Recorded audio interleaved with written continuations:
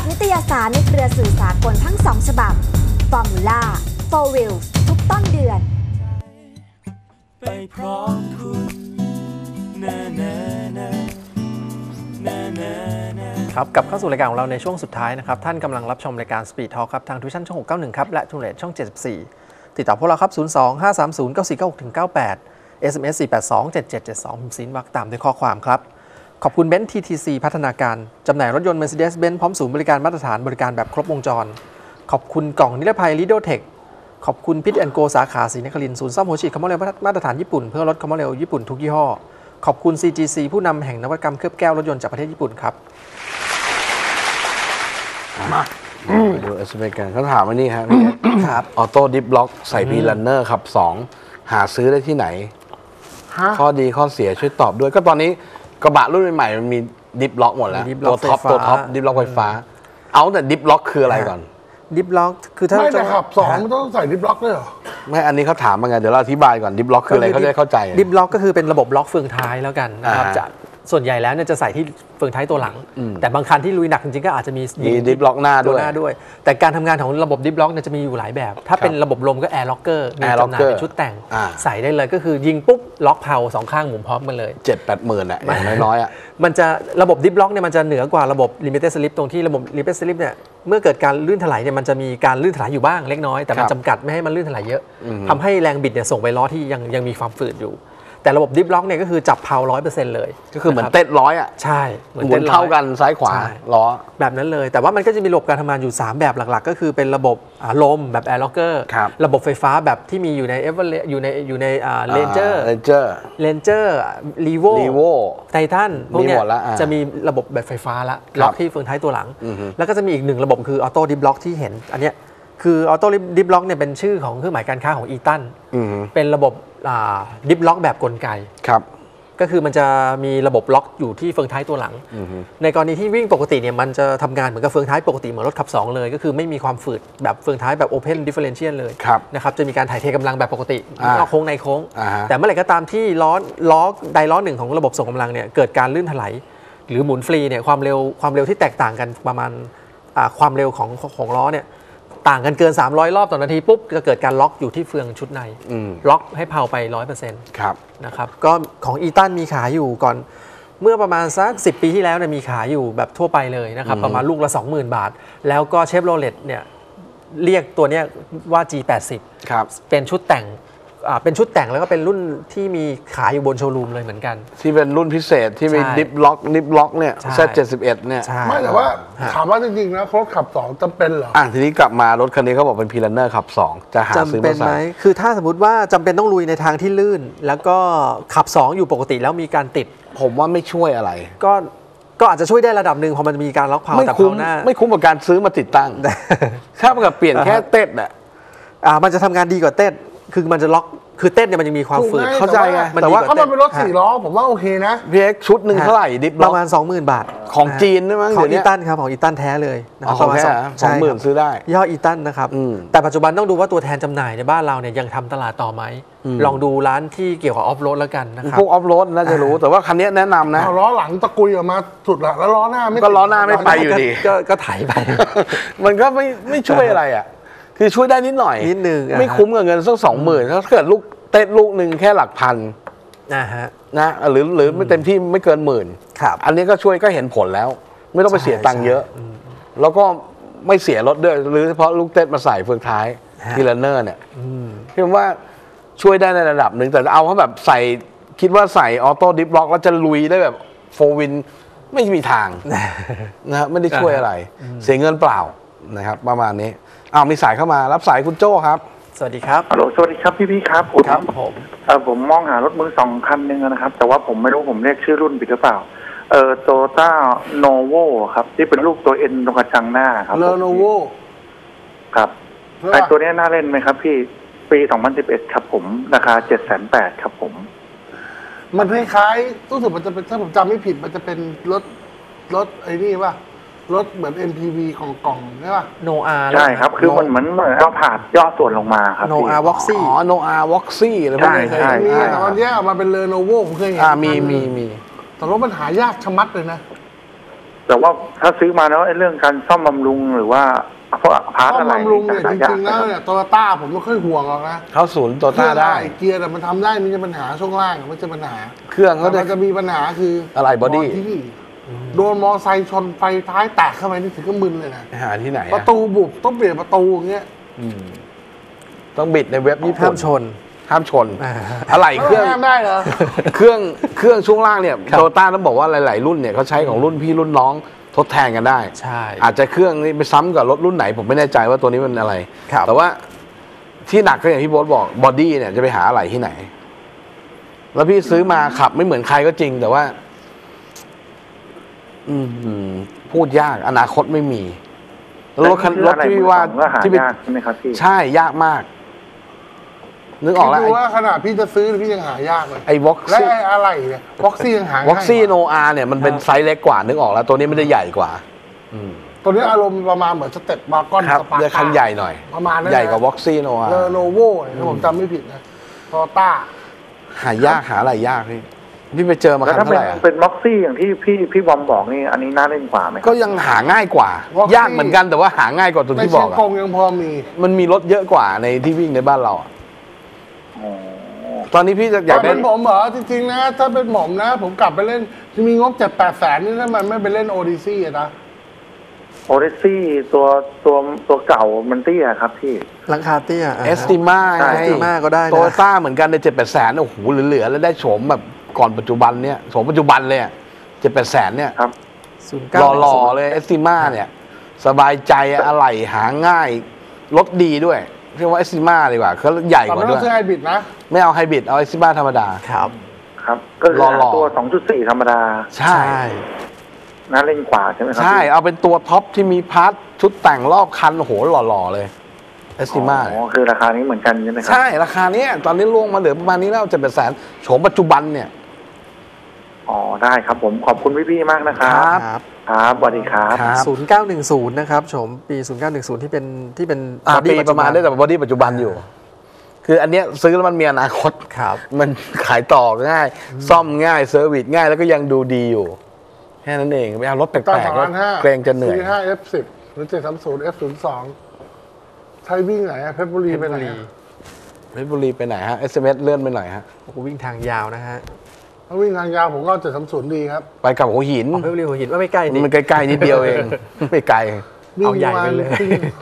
แต่ถ้าเป็นผมในราคานี้นะเป็นผมผมเอา F ศูนย์สองน่าสบายกว่า ครับ แล้วเอาเป็นตัว F 0 2 7 3 0 LD นะครับ แล้วก็เอา 3 จอออปชั่นเต็มนะครับ อย่าไปเอาตัวแรกที่เป็นเป็น730 LD โลออปชั่นไม่เอานะครับ ต้องเอาเป็น730 LD 3 จออที่เป็น option เดียวกับ 745 740 นะฮะ ใช่ ตัวที่เคยมาขายในช่องเราไง body เนี้ย work วิ่งกระจายเลยฮะวิ่งกระจายที่เขาบอกงบเท่าไหร่นะชั่นเต็ม2ล้านห้าสองล้านห้าซื้อได้เลยเหลือๆตังค์เหลือด้วยใช่ถ้า F 0 2นี่ตังค์เหลือ มันลงตอนนี้น่าจะถูกกว่านี้นะประมาณ2ล้าน2ล้าน3 2ล้าน2 2ล้าน3ไม่ครับแต่ถ้าสวยๆจัดๆเลยนะคือ2ล้าน5สีขาวอ่าฮะสีขาวโทรทัศน์สามจอต่อหลังนั่งโอ้โหรับรองเพชรบุรีหัวหินดูหนังเรื่องเดียวถึงเลยแป๊บเดียวครับ บนหน้าจอครับโฟกัส 2.0 TDCI ครับ ตัว Minor Change ปี 2010 ถึง 2011 น่าใช้ไหมครับ เป็นเกียร์ Power Shift แล้วนะครับ เครื่องดีเซล เครื่อง1,900เอาเครื่อง 2,000นะซื้อแล้วก็ไปรวมตัวกับเขาที่เขาประท้วงเลยตอนเนี้ย จะดีเหรอน่าถามว่าน่าใช้ก็มันมีปัญหาจริงก็ต้องยอมรับมันนะ ที่เขาประท้วงอะไรกันอยู่เนี่ย ชุดเกียร์เกียร์ power shift เนี่ย ใช่ คิดดีแล้วเหรอคือรถมันก็มีคันที่มีปัญหาก็มีแต่ว่ามัน ผมว่ามีปัญหาซะเยอะ แล้วเราจะรู้ไหมล่ะ ใช่เดี๋ยมันแก้มาหรือยังจบไหมมันคือถ้ามีทางเลือกอื่น ผมว่าไปอันอื่นนะฮะนะถ้าไม่อยากใช่นอกจากอยู่ในกลุ่มที่เขาประท้วงกันอยู่แล้วก็นี่ราคาเท่าไหร่อะโฟกัสนั่นแหละคันเท่าไหร่ก็ต้องมีต้องก็ต้องมีประมาณห้าหกแสนครับถูกป่ะโอ้โหมีห้าช้อยหกแสนเป็นผมวันนี้เหรอผมไปแบบไป Camry Accord ยังได้เลยมั้ง Camry สองพันยังได้เลยแคมรี่แอคคอร์ดเลยอะมันไม่ใช่แล้วอะผมว่าอืม ขับสองทำช่วงล่างร้านไหนเก่งสุดทำอะไรอะถามว่าเก่งสุด ผมก็เกาหัวเลยอะแล้วผมจะรู้ได้ไงร้านไหนเก่งสุดอะทำอะไรอะคือจริง ๆ แล้วมันไม่ต้องทำอะไรรถมันก็ดีอยู่แล้วโคโรเนอร์จริงๆแล้วตัวพื้นฐานนะก็แค่เปลี่ยนโช้คสปริงก็จบแล้วครับ แค่นั้นเองแต่ว่าคุณจะเปลี่ยนโช้คสปริงหรือคุณจะขับเหมือน Audi R8 มันคงไม่ใช่อะนะถูกปะแต่ก็ขับดีกว่าเดิมแล้วอะโช้คไม่อัใช่พแต่เนี่ยว่าบางส่วนคนใหญ่ชอบคิดว่าโหยเอาไปสาดโค้งแบบรถเก๋งเออไม่ใช่คือโดยธรรมชาติ พื้นฐานมันก็มาจากรถกระบะนะ มันก็ดีที่สุดของมันในรถกระบะทำออกมาแล้วมันก็ work ในระดับของรถกระบะจะไปสาดโค้งอะร้อยสี่ร้อยห้ารถเก๋งรถอะไรมันก็หลุดครับ ให้มันขับสี่มันก็หลุดมันก็บินออกไปทั้งคันเหมือนกันอะอืมเอเวอเรสต์ตัว 2.2 Titanium Plus ครับท็อปครัขอบ งท็อปของเครื่องเล็ก กลัวจะอืดไหมอืดเปล่า จะอืดหรือเปล่า พอเป็นเอเวอเรสต์แล้วพอเครื่องแค่2.2จะขับแล้วอืดไหม เอามันอืดไหมไม่รู้อะไม่เคผมยยังไม่ได้ลองเหมือนกันพี่เอ็กซ์ลองแค่2.2ก็ถามว่าอืดไหมแน่นอนถ้าเทียบกับ3.2ไอ้มันพลังอืดกำลังแน่มันมันตกลงแน่ แต่ถ้าเทียบกับเครื่องกลุ่มเครื่องเล็กด้วยกันก็ถือว่าไม่ได้ไม่ได้แย่ ผมว่าไม่ได้น้อยหน้าคู่แข่งอะนะ โดยเฉพาะ MU-X นะ MU-X พันเก้าเนี่ยแน่นอน2.2ไม่ไม่ได้ด้อยไม่ได้ด้อยกับ MU-X ใช่แต่ถ้าเทียบกับ Pajero 2.4แน่นอนเออมันมันคนละเรื่องอยู่แล้วนะครับอ่าแต่ก็คือผมเชื่อว่าไม่ได้อืดถึงขนาดว่ารับไม่ได้ฮะเพราะว่าคนที่ใช้เอเวอเรสต์ตัว 2.2 อยู่ก็เยอะ ครับนะครับ แล้วก็ก็ไม่เห็นไม่มีใครตัวกระบะมันโอเคอะแต่พอมันเป็นมันเป็น van แล้วเราก็ไม่มั่นใจอะก็คนที่ใช้เอเวอเรสต์เครื่องเล็กก็ก็ไม่เห็นมีใครบ่นว่ามันอืดอะไร ส่วนใหญ่เขาก็ทำใจตั้งแต่เขาซื้อแล้วว่าเขาซื้อเครื่องเล็ก เพราะฉะนั้นจะให้มันเหมือน 3.2 เป็นไปไม่ได้นะครับ ก็ทำใจได้ในระดับหนึ่งไม่ได้อืดขนาดรับไม่ได้ครับ Harrierปีศูนย์แปดวิ่งแสนสองราคาเจ็ดแสนน่าเล่นไหม ราคาผมว่าแพงไปนิดนึง ศูนย์แปด Harrier ศูนย์แปดเนี่ยเต็นท์รถซื้อเข้าอยู่ประมาณสี่สิบปลายห้าสิบต้น ตั้งขายอยู่ประมาณหกสิบกลาง เพราะฉะนั้นวันนี้ซื้อเจ็ดแสนนี่ แพงไหมนะหกสิบกลางยังไม่ต่อศูนย์แปดแล้วต้องดู option ด้วยอันนี้เป็น option อะไร ถ้าเป็นสองจุดสี่ถ้าเป็นสองจุดสี่ตัวตัวมี moonroof อืมก็ประมาณหกแสนกว่า แต่ถ้าเป็นเครื่องอะไรนะสามพัน สามพันจะถูกกว่า เพราะสามพันกินน้ำมัน all four ไม่มีใครเล่นเขาไปหาสองจุดสี่กันแต่เจ็ดแสนผมว่าสูงไปนิดนึง วันนี้เขาซื้อกันหกแสนกว่าหกแสนกว่ายังไม่ต่อเลยเดินเข้าเต็นท์อะ08ไม่น่าถึงแล้วนะ ใช่เจ็ดแสนต้องเป็นโฉมสามแล้วนะครัใช่อีกโฉมหนึ่งอะใช่เจ็ดแสนเจ็ดแสนกว่าเคยเห็นครับนะครับอะประมาณนี้แล้วกันแล้วบอกว่าวันนี้เราทิ้งท้ายไว้ด้วยเอ่อเรื่องราวของ Run Stop นะครับ พาไปดูเรื่องราวของผลิตภัณฑ์เบรกกับ Run Stop เนี่ยที่เอาไปใช้ในรถแข่ง นะครับว่าคุณภาพเป็นยังไงนะครับ ทิ้งท้ายไปกับเรื่องราวนี้นะครับสกู๊ปเรื่องราวของนักแข่งรถกับผลิตภัณฑ์เบรกจาก Run Stop วันนี้พวกเราสามคนลาไปก่อนพบกับพวกเราได้ใหม่กับรายการ Speed Talk ครับรายการสดทุกวันจันทร์ถึงวันศุกร์ครับ วันนี้นอนหลับฝันดีลาตรีสวัสดิ์สวัสดีครับสวัสดีครับ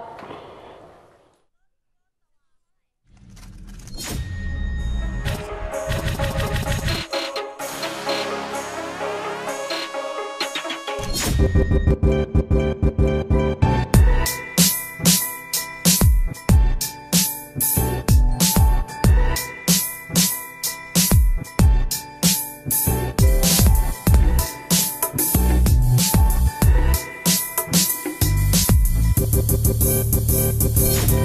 วัสดีครับผม ก็ผมวิชัยสนธิราวัตรครับ สังกัดทีมไทยแอดครับ Run Stop p o t o n i c Lift Team ก็ใช้ผลิตภัณฑ์ Run Stop มาก็4-5ปีแล้วครับสำหรับการแข่งขันตั้งแต่ยุคแรกๆแล้วโดยส่วนตัวรถคันนี้ก็ตัวเฉลี่ยที่ยังไม่ยิงในตัดก็อยู่ประมาณ 870 ตัวครับ ที่ไดโน่ก็รถดิฟก็ซัดกันเต็มที่อยู่แล้วก็คงรู้กันอยู่แล้ววันกบอัดเต็มอะฮะก็ไม่เคยมีปัญหาเรื่องเบรกเรื่องเบรกติด หรือว่ามีปัญหาเรื่อง fade เบรกที่ส่งมาทดสอบนะฮะก็จะส่งให้เราใช้ทำการแข่งขันก่อนนะฮะผลิตภัณฑ์ Runstop นะก็จะมีการทดสอบกับนักแข่งหลาย ๆ ท่านนะครับ แล้วก็หลาย ๆ หลายแขนงอย่างเช่นพวกออฟโรดนะ cross country นะครับ circuit ทางเรียบนะครับรถ drift ก็มีหลาย ๆ แบบ แล้วก็ผลิตภัณฑ์ทั้งหมดนี้ก็จะถูกส่งมา test แล้วก็ develop ครับว่าเพื่อปรับปรุงคุณภาพแล้วก็จำหน่ายต่อไปครับ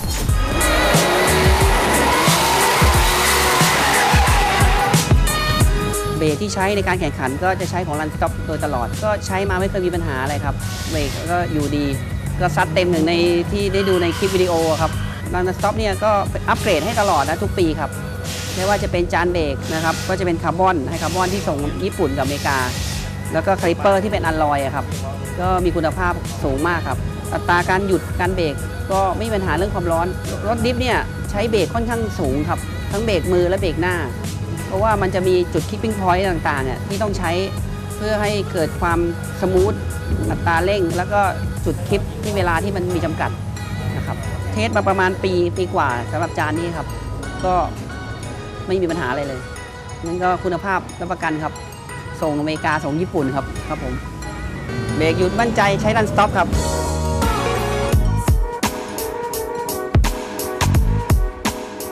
สวัสดีครับผม ผมโจโจป๊อปนะครับ ทีม PTT Performa Drift Team ฮะ แล้วก็ผมเป็นหนึ่งในนักแข่งนะฮะ ที่มั่นใจนะฮะ ใช้เบรกของ Run Stop นะครับผม ซึ่งรถแข่งของผมคันนี้นะฮะ นี่คาลิเปอร์หน้า4 pot นะฮะ เป็นของ Run Stop จานหน้านี่ผมใช้ขนาดของ 360มิลลิเมตรนะฮะ ซึ่งทำให้การเบรกในการเข้าโค้ง หรือว่าในการที่จะชะลอรถกระทันหันเนี่ยดีมากๆเลยนะฮะ ตัวเด่นเลยนะฮะจุดที่แบบว่าสำคัญสำคัญเลยของ Run Stop เนี่ย คือเรื่องของการทนความร้อน คือตอนผมเบรกไปปุ๊บทุกอย่างระยะการเบรกเหมือนเดิม ก็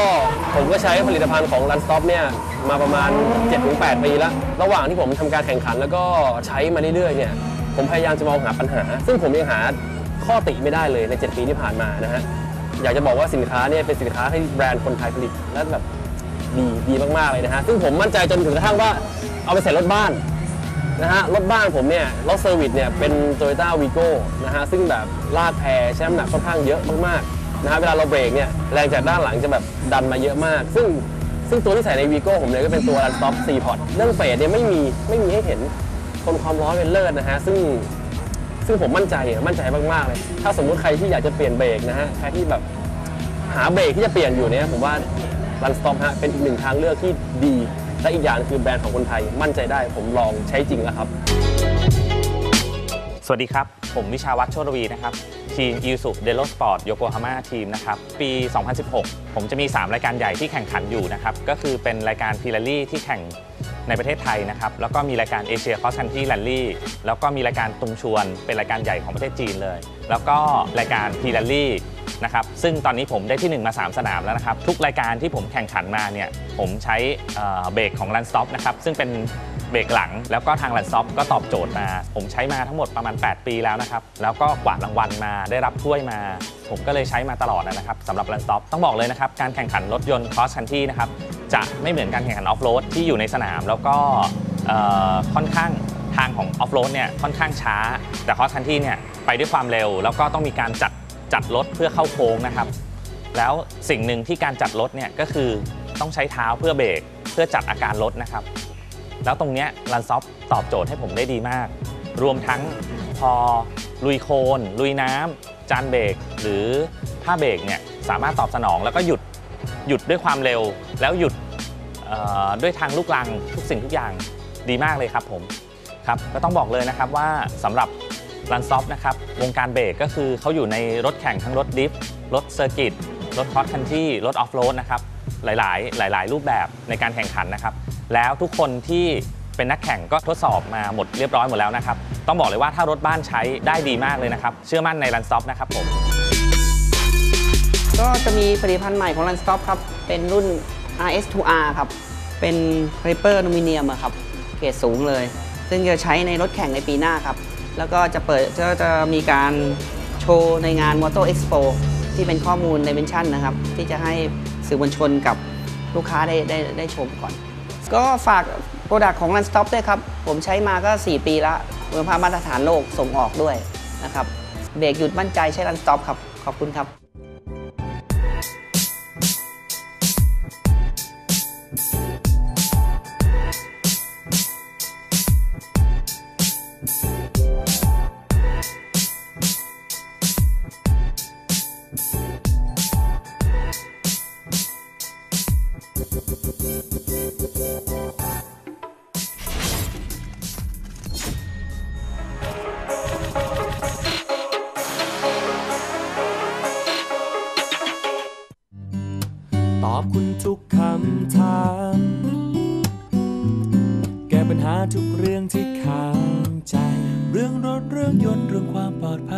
การรถไหมจะปรึกษาใคร ให้พวกเราสปีดทอล์ช่วยตัดสินใจ ไปพร้อมคุณแน่แน่แน่แน่แน่แน่